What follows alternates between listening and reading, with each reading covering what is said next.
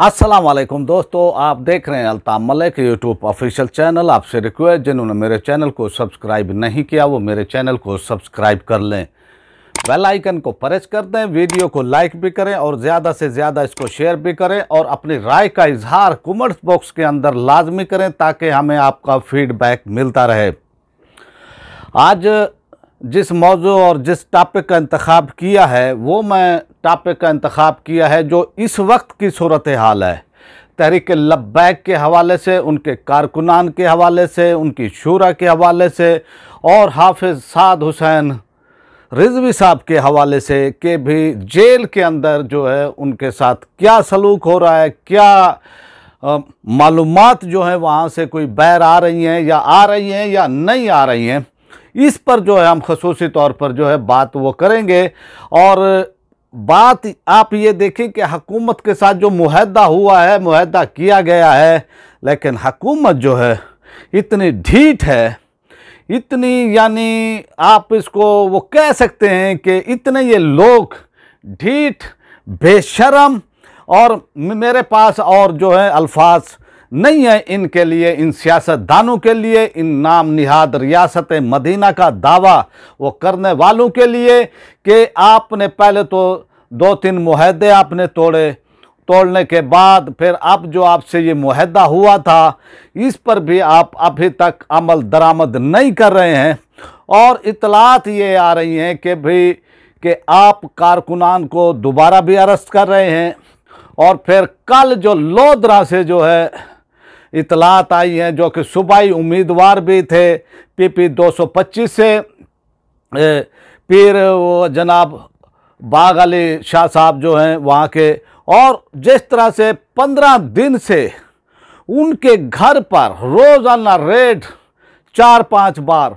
जो है वो मारे वो जा रहे थे, और फिर आखिर जब उन्होंने देखा कि पीर बाग अली साहब जो है हमें नहीं मिले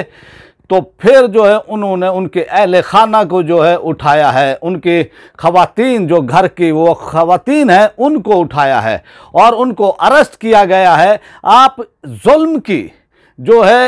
इंतहा ये देखें कि इस हकूमत ने खवातीन को भी नहीं छोड़ा है और वो जो है उनको अरेस्ट किया गया है। पाकिस्तान का कानून, पाकिस्तान का आइन, इस हवाले से हालाँकि उनके ऊपर ना कोई केस है कुछ भी नहीं है, ना उन पे कोई एफ़ आई आर हैं, वो घरेलू खातून हैं और उनको एक ज़िद में,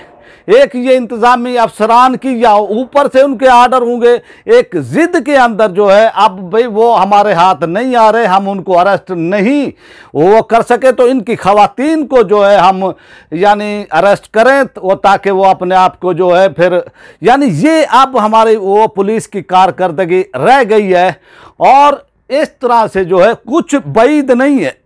जो खवातीन के साथ। इस तरह से बदतमीज़ी वो कर सकते हैं। हालाँकि खवातीन को पाकिस्तान का कानून है कि उनके ऊपर कोई केस नहीं है, कुछ नहीं है तो आप उनको हवालात में भी नहीं रख सकते। ये पाकिस्तान का कानून है आइन है, लेकिन इस हकूमत ने तमाम आइन तमाम अखलाकियात तमाम उन चीज़ों को जो है रोंद दिया है अपने पाँव के नीचे और झुकाना चाह रहे हैं तहरीक लबैक पाकिस्तान को, उनकी क्यादत को और उनको तोड़ना चाहते हैं, उनको बिखेरना चाहते हैं कि भी तहरीक लबैक पाकिस्तान के सरबरा जनाब साद हुसैन को जो है हम जो इतना दबाव दें उनके ऊपर, इतना उनके ऊपर आपने देखा कि आपने पहले भी अलामा खादम हुसैन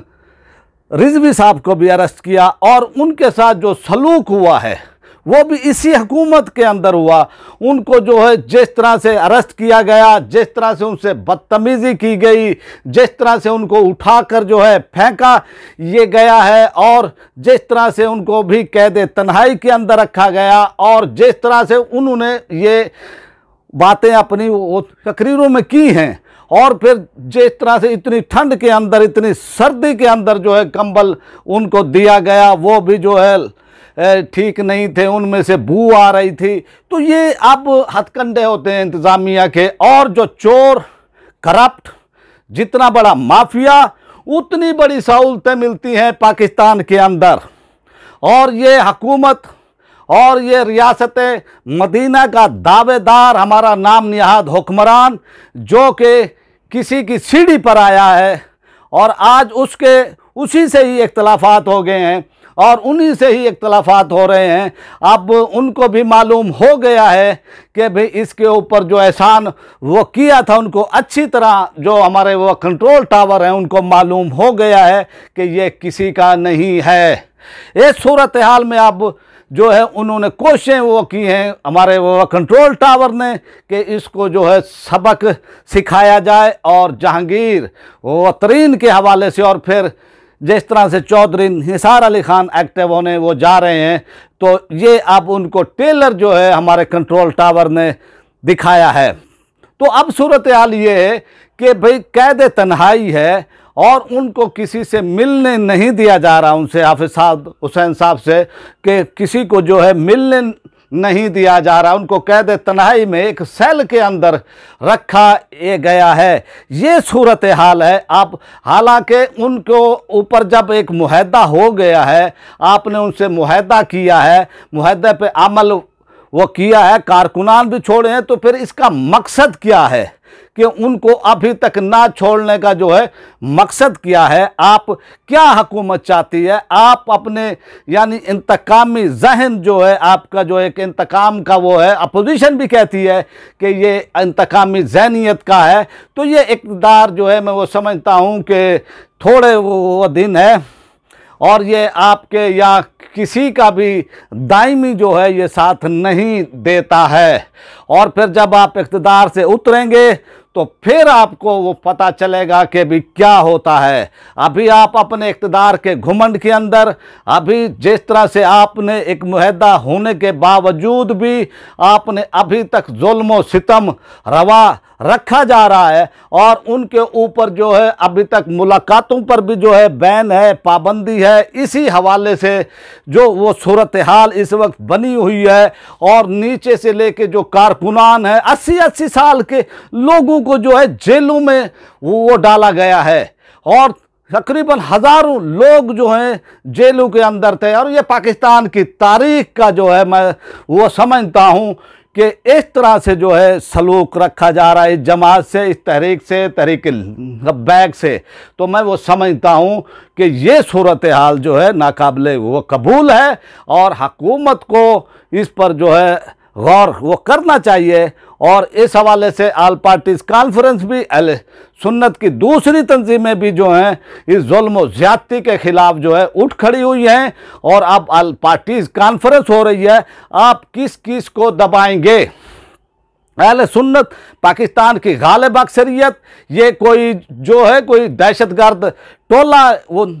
नहीं है, ना कोई ये नया फ़िरका है, ये सवाद आज़म अल सुन्नत हैं। और इनकी दुनिया के अंदर पूरी जो है, पिचहत्तर से अस्सी फ़ीसद जो है इनके मानने वाले हैं, अहल सुन्नत जो हैं, इनके मानने वाले हैं, अक्सरियत के अंदर हैं। लेकिन आप जो है, इनके साथ इस तरह से ये जुल्म सितम वो करके अपने जहन को, अपने दिमाग को यानी वो तस्कीन पहुँचाना चाहते हैं कि भी मैं जो है, मेरे ख़िलाफ़ किसकी ज़रूरत हुई है कि हमारे खिलाफ जो आए? किसकी हिम्मत हो गई है कि भी मेरे खिलाफ जो है इस तरह से तहरीक चलाए? और किसकी जो है ज़रूरत हो गई है कि जो मैं वो कह दूँ और फिर जो है उसके सामने कोई जो है आकर कहे कि आप बात ठीक नहीं वो कर रहे हैं? तो इस सूरत हाल को जो है आप अहल सुन्नत की दिगर तंजीमों ने ये समझ लिया है। और मैं ये समझता हूँ ये जो आल पार्टीज़ कॉन्फ्रेंस वो तलब की गई है, इससे पहले मुफ्ती आज़म पाकिस्तान, मुफ्ती हनीबुररहमान साहब सामने आए हैं और अब जो है डॉक्टर रागिब हुसैन, नईमी साहब, ये जो होने जा रही है, ये कॉन्फ्रेंस जो है 25 मई को, आल पार्टीज़ कॉन्फ्रेंस। तो मेरा तो यही था राय, यही थी कि तहरीक लब्बैक को जो है इसका इकदाम उठाना चाहिए था, उनकी शूरा को ये इकदाम उठाना चाहिए था।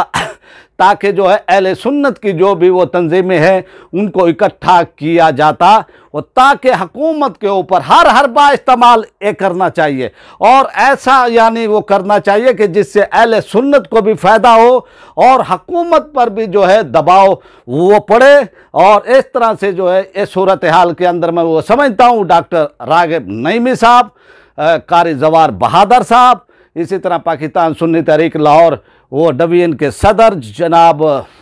वो सरदार तैर मोहम्मद डोगर साहब, इनकी कोशिशों से जो है ये आल पार्टीज़ कॉन्फ्रेंस होने जा रही है और इसमें अहले सुन्नत की जो है सारी पार्टियाँ, वो शामिल होंगी और इन जो है इसके अच्छे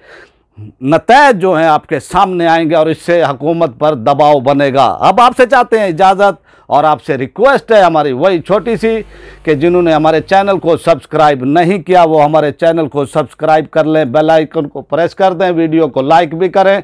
और ज़्यादा से ज़्यादा इसको शेयर भी करें और अपनी राय का इजहार कमेंट बॉक्स में लाजमी करें।